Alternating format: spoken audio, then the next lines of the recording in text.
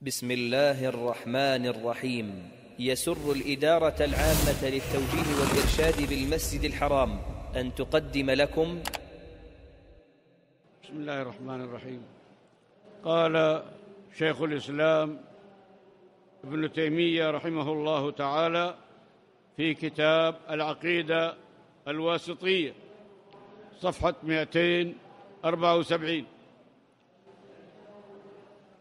ومن أصول أهل السنة التصديق بكرامات الأولياء وما يجري الله على أيديهم من خوارق العادات أي ما يخالف العادة في أنواع العلوم والمكاشفات وأنواع القدرة والتأثيرات. قال المعلق قوله أنواع العلوم والمكاشفات وأنواع القدرة والتأثيرات أي أن كرامات الأولياء وهم المؤمنون المتقون.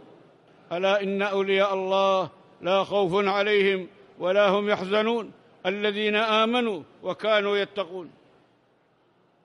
أي أن كرامات الأولياء تنقسم إلى قسمين علم وكشف وقدرة وتأثير. أما الأول فكأن فكأن يعلمه الله ويطلعه ويكشف له ما لا يكشف لغيره يقظة أو مناما. كما حدث لعمر بن الخطاب رضي الله عنه في قصة يا سارية الجبل. أمير المؤمنين عمر يخطب الناس يوم الجمعة وهناك قائد اسمه سارية في الجهاد في سبيل الله. فالله سبحانه أطلع وعرف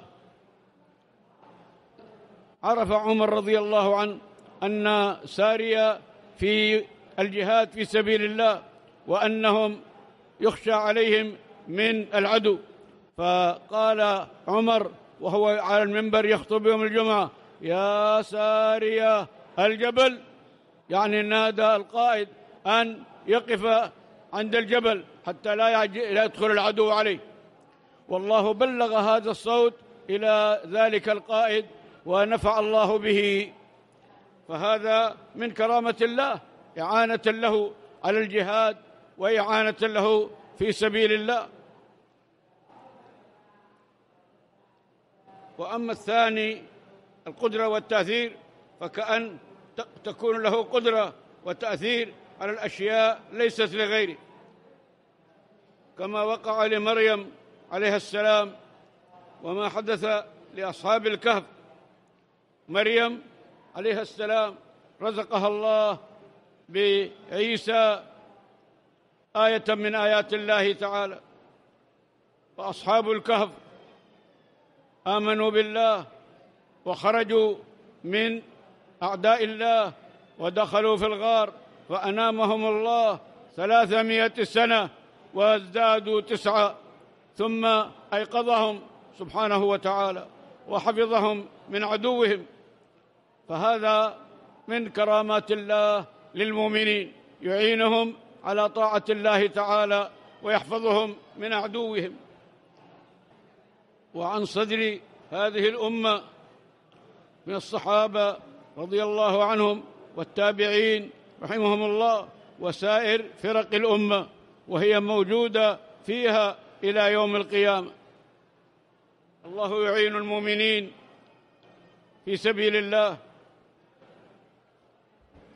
وقد تواترت نصوص الكتاب والسنة ودلت الوقائع قديما وحديثا على وقوع كرامات الله لأوليائه المتبعين لهدي أنبيائهم. والكرامة أمر خارق للعادة يعني مخالف للعادة. يجريه الله على يد ولي من أوليائه يعني المؤمنين المتقين أولياء الله المؤمنون المتقون. معونة له على أمر ديني أو دنيوي. ويفرق بينها وبين المعجزة بأن المعجزة تكون مقرونة بدعوى الرسالة. بخلاف الكرامة لا يكون فيها دعوى النبوة. ويتضمن وقوع هذه الكرامات حكم ومصالح كثيرة. أهمها اولا أنها كالمعجزة تدل أعظم دلالة على كمال قدرة الله ونفوذ مشيئته وأنه فعال لما يريد وأنه لا فوق هذه السنن وأن له فوق هذه السنن والأسباب المعتادة سننا أخرى لا يقع عليها علم البشر ولا تدركها أعمالهم. ومن ذلك قصة أصحاب الكهف والنوم الذي أوقعه الله بهم في تلك المدة الطويلة ثلاثمائة سنة وازدادوا تسعة. مع حفظه تعالى لأبدانهم من التحلل والفناء. سبحان الله العظيم. ومنها ما أكرم الله به مريم بنت عمران عليهم السلام من إيصال الرزق إليها وهي في المحراب مشغولة بخدمة المسجد الأقصى. حتى عجب من ذلك زكريا عليه السلام وسألها أن لك هذا؟ قالت هو من عند الله. وكذلك حملها بعيسى عليه السلام بلا أب وولادتها إياه وكلامه في المهد وغير ذلك. ثانيا أن وقوع الكرامات الأولياء هو في الحقيقة معجزة للأنبياء عليهم الصلاة والسلام لأن تلك الكرامات لم تحصل لهم إلا ببركة متابعتهم لأنبيائهم. الله عز وجل بارك فيها وسيرهم وسيرهم على هديهم. ثالثا أن كرامات الأولياء هي البشرى التي عجلها الله لهم في الدنيا. فإن المراد بالبشرى كل أمر يدل على ولايتهم وحسن عاقبتهم ومن جملة ذلك الكرامات. هذا ولم تزل الكرامات موجودة لم تنقطع في هذه الأمة إلى يوم القيامة والمشاهدة أكبر دليل. وأنكرت الفلاسفة. الفلاسفة كفار. وأنكرت الفلاسفة كرامات الأولياء كما أنكروا معجزة الأنبياء. قال المعلق الفلسفة باليونانية معناه محبة الحكمة. والفيلسوف هو فيلا وسوفا وفيلا هو المحب وسوفا الحكمة. أي هو محب الحكمة. وفلاسفة العرب من اتبع فلاسفة اليونان في كفرهم وضلالاتهم كارسطو طاليس وأفلاطون وغيرهما. ومن فلاسفة العرب ابن رشد وابن سينا والرازي الطبيب وغيرهم. وهؤلاء لا يؤمنون بالأنبياء ومعجزاتهم ولا الأولياء وكراماتهم. نعوذ بالله من الضلال. وأنكرت الكرامات أيضا المعتزلة طائفة ضالة وبعض الأشاعرة بدعوى التباسها بالمعجزة. وهي دعوى باطلة لأن الكرامة كما قلنا لا تقترن بدعوى الرسالة. لكن يجب التنبه إلى أن ما يقوم به الدجاجلة والمشعوذون من أصحاب الطرق المبتدعة الذين يسمون الذين يسمون أنفسهم بالمتصوفة من أعمال ومخاريق شيطانية. بعض من يدعي التصوف دجال يلعب على الناس ويأكل أموال الناس بالباطل.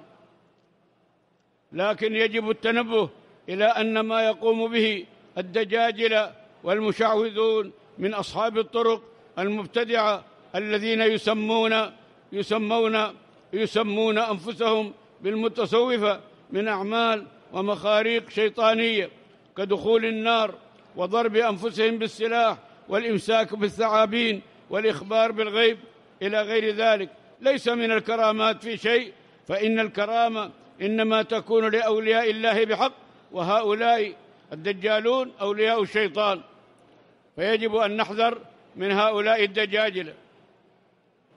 فصل ثم من طريقة أهل السنة والجماعة اتباع آثار رسول الله صلى الله عليه وسلم باطنا وظاهرا أي اعتقادا وعملا واتباع سبيل السابقين الأولين من المهاجرين والأنصار رضي الله عنهم واتباع وصية رسول الله صلى الله عليه وسلم حيث قال عليكم بسنتي وسنة الخلفاء الراشدين المهديين من بعدي تمسكوا بها وعضوا عليها بالنواجذ وإياكم ومحدثات الأمور فإن كل بدعة ضلالة.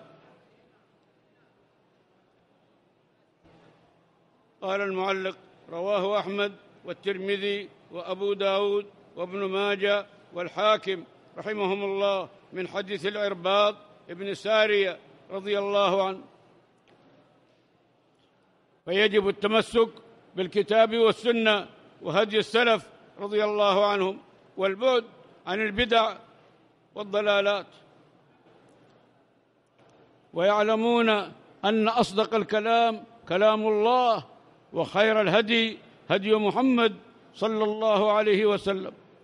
ويؤثرون كلام الله على غيره من كلام أصناف الناس. ويقدمون هدي محمد صلى الله عليه وسلم على هدي كل أحد. ولهذا سموا أهل الكتاب والسنة وسموا أهل الجماعة لأن الجماعة هي الإجماع. وضدها الفرقة وإن كان لفظ الجماعة قد صار اسما لنفس القوم المجتمعين.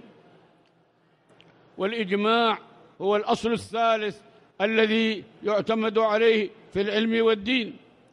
وهم أهل السنة يزنون من الوزن بهذه الأصول الثلاثة. جميع ما عليه الناس من أقوال وأعمال باطنة أو ظاهرة مما له تعلق بالدين. يوزن بالكتاب والسنة والإجماع. فإن وافق فقبل وإن خالف ترك. والإجماع الذي ينضبط هو ما كان عليه السلف الصالح. رحمهم الله إذ بعدهم كثر الاختلاف وانتشر في الأمة.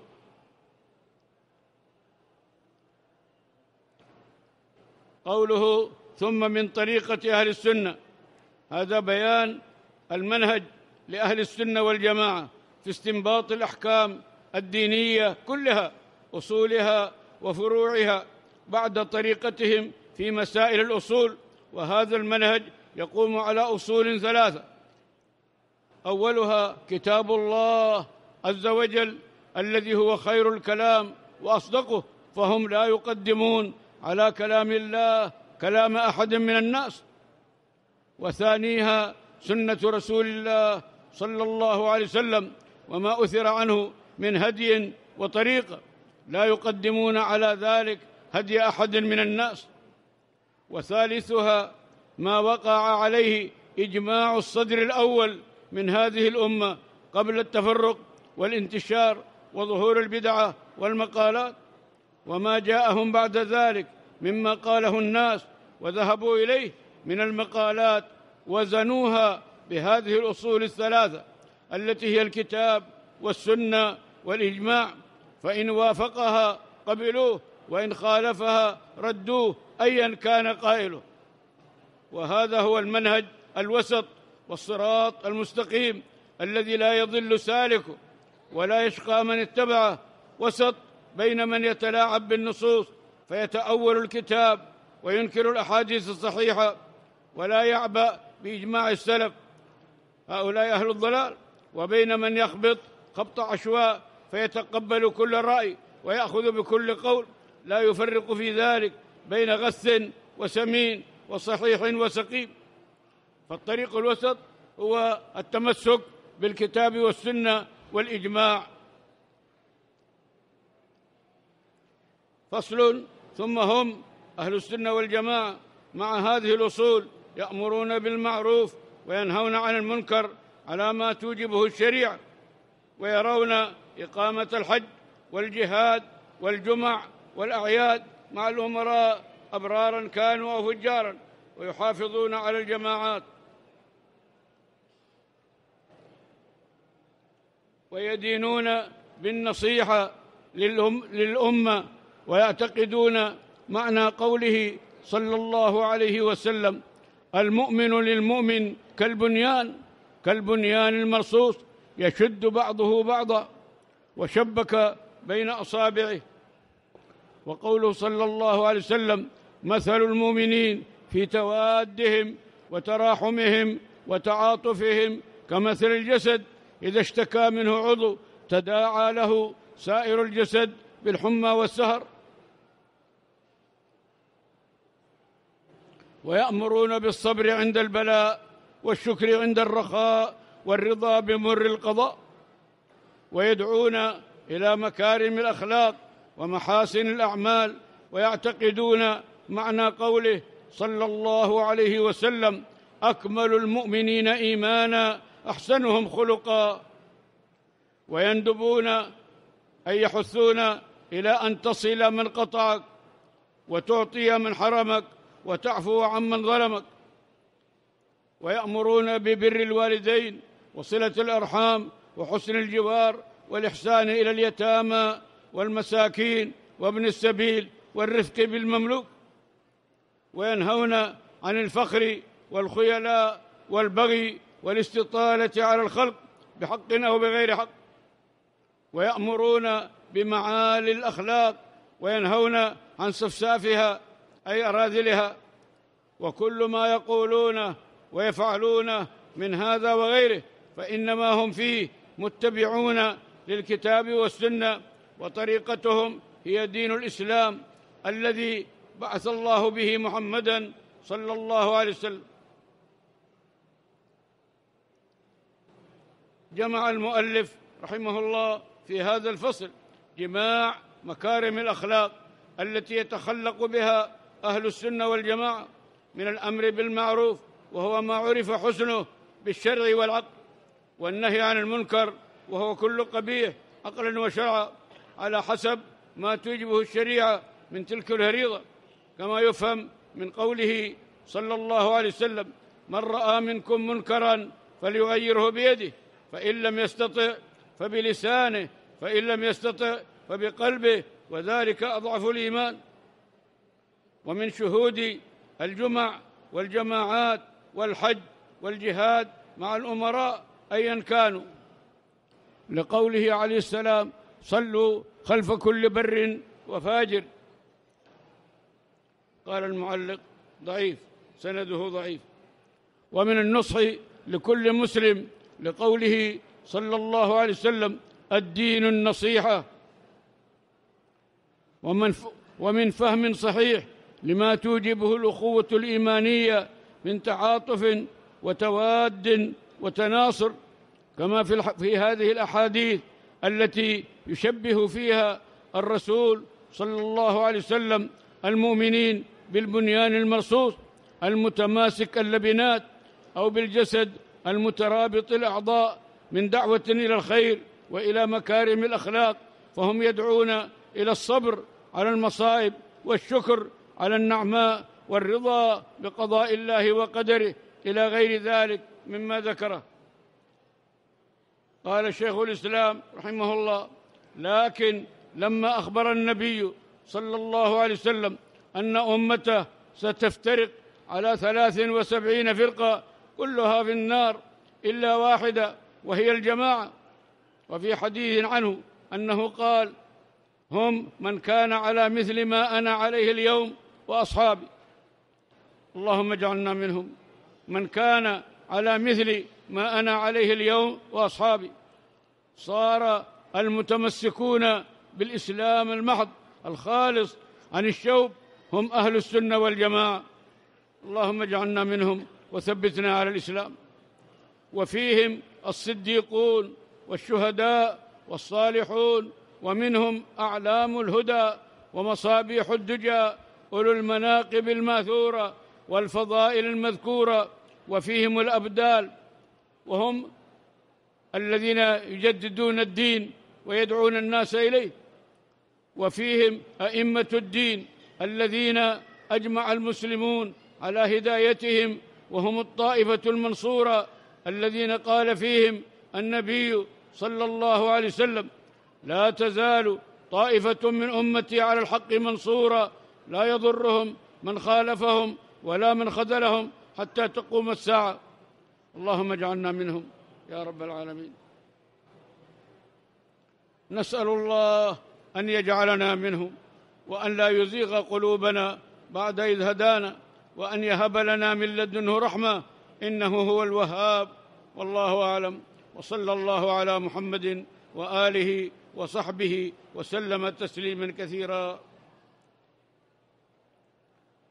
قال وأما قوله وفيهم الصديقون فالصديق صيغه مبالغة. من الصدق يراد به الكثير التصديق. وأبو بكر رضي الله عنه هو الصديق الأول لهذه الأمة رضي الله عنه. وأما الشهداء فهو جمع شهيد وهو من قتل في المعركة. وأما الأبدال فهم جمع بدل وهم الذين يخلف بعضهم بعضا في تجديد هذا الدين. والدفاع عنه. كما في الحديث يبعث الله لهذه الأمة على رأس كل مائه سنة من يجدد لها أمر دينها. هؤلاء هم الأبدال الذين يجددون الدين ويدعون إلى الدين. قال المعلق قال الحافظ ابن القيم رحمه الله في المنار المنيف اسمه كتاب أحاديث الأبدال والأقطاب والأغواث والنقباء والنجباء والأوتاد كلها باطلة التي يدعو إليها الصوفيه كلها باطلة على رسول الله صلى الله عليه وسلم. يرد بها يرد بهذا على الصوفية الذين يزعمون أن هناك ابدالا سبعة يتحكم كل واحد منهم في قارة من القارات السبع. بأمر الغوث والنجباء. أما الأبدال الذين يعنيهم شيخ الإسلام ابن تيمية رحمه الله فهم الذين عرفهم الشارع. الدعاة إلى الله الذين يدعو يجددون الدين ويدعون إلى الدين. قال المؤلف رحمه الله بسم الله الرحمن الرحيم. نرجع من أول الكتاب. صفحة 74 بسم الله الرحمن الرحيم. اختلف العلماء رحمهم الله في البسملة. هل هي آية من كل سورة افتتحت بها أو هي آية مستقلة أنزلت للفصل بها بين السور وللتبرك بالابتداء بها؟ والمختار القول الثاني أنها آية مستقلة أنزلت للفصل بها بين السور. واتفقوا على أنها بسم الله الرحمن الرحيم جزء آية من سورة النمل. إنه من سليمان وإنه بسم الله الرحمن الرحيم. واتفقوا على أنها جزء آية من سورة النمل. وعلى تركها في أول سورة براءة. لأنها جعلت هي براءه والأنفال كسورة واحدة. والباء في بسم للاستعانة. بسم الله أي نستعين بالله. وهي متعلقة بمحذوف. قدره بعضهم فعلا وقدره بعضهم اسما. والقولان متقاربان. وبكل ورد في القرآن. قال تعالى اقرأ باسم ربك. وقال بسم الله مجريها ومرساها. ويحسن جعل المقدر متأخرا لأن الاسم أحق بالتقديم ولأن تقديم الجار والمجرور يفيد اختصاص الاسم الكريم بكونه متبركا به. والاسم هو اللفظ الموضوع لمعنى تعيينا له أو تمييزا. واختلف في أصل اشتقاقه. يعني الاسم. فقيل إنه من السمة. الاسم مأخوذ من السمة بمعنى العلامة. وقيل من السمو أي العلو وهو المختار. وهمزته همزة وصل. بسم الله. وليس الاسم نفس المسمى كما زعم بعضهم. فإن الاسم هو اللفظ الدال والمسمى هو المعنى المدلول عليه بذلك الاسم. وليس هو كذلك نفس التسمية فإنها فعل المسمي. التسمية فعل المسمي يقال سميت ولدي محمدا مثلا. وقول بعضهم إن لفظ الاسم هنا مقحم يعني زائد لأن الاستعانة إنما تكون بالله عز وجل. لا باسمه ليس بشيء. هذا الكلام ليس بشيء. لأن المراد ذكر الاسم الكريم باللسان. كما في قوله سبح اسم ربك الأعلى. أي سبحه ناطقا باسم ربك متكلما به. فالمراد التبرك بالابتداء بذكر اسمه تعالى. واسم الجلالة الله.